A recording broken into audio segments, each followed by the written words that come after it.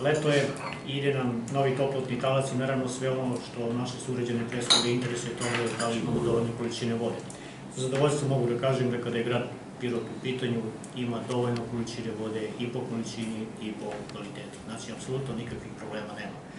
Htio bih još jednom da istaknem da, evo čak i u našem okruženju, pošto onih velikih padavina došlo je do zavućenja na mnogim izvorištima, Bela Palanka ima problema, ali još jednom da istaknem da postrojenje ili crpna stanica Berilovac, odnosno sada je to postrojenje za prečišćavanje vode za piće, i opravdala sva ulaganja koje smo tamo radili i omogućila gradu Pirotu da u svakom trenutku, bez obzira na padavine, imamo kvalitetnu vodu za piće. Kada su sela u pitanju, možemo da kažemo da u ovom trenutku i tu je stanje zadovoljavajuće, uz neke sporadične probleme, imamo malo više kvarova, ali da će u ovom trenutku sva sela imati dovoljno količine vode.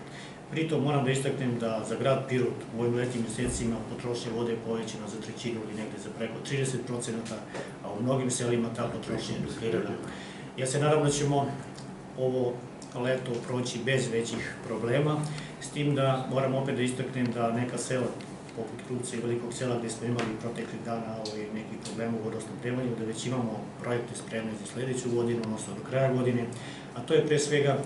naš projekat da Poljsku Režanu i Trnjanu snabdevamo u ovakvim slučajevima iz grada, a da time ostavimo za Krupac mnogo veće količine nego što sad imamo na raspolaganju. Time bismo praktično sva sela na kružnom putu obezbedili dovoljno količine vode i po kvalitetu i po količini. Ono što je aktualno u ovom trenutku, to su radovi u ulici Visočki put. Tamo imamo dogovor ili ugovor s koridorima da do 1. septembra moramo da završimo naše radove, zamene vodovodne mreže, posle toga ide asfaltiranje, tako da su tamo naše dve ekipe, po potrebi bit će ih i više i trudit ćemo se da na vreme završimo taj posao. Bili smo aktivni u selima, znači pre svega selo Nišar koje još uvek nije u našem sistemu, ali tamo smo morali da saniramo donekle vodovodnu mrežu, da uredimo kaptažu, imamo još dosta posla tamo, pa se nadamo da ćemo tokom ove godine i ovo selo